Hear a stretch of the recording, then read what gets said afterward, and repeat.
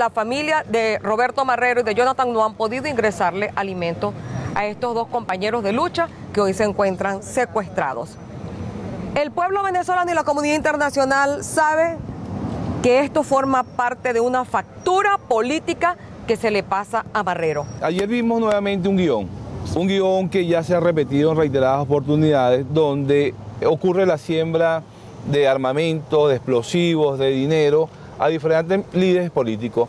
Igualmente, sabemos que en Venezuela ser político o ser periodista es un delito en este momento. Estamos forjados para esta lucha. Estamos dispuestos a afrontar cualquier tipo de consecuencia. Y Roberto es una persona fuerte. Roberto se formó para esto. Roberto no va a ser obligado por estos, estos bandidos.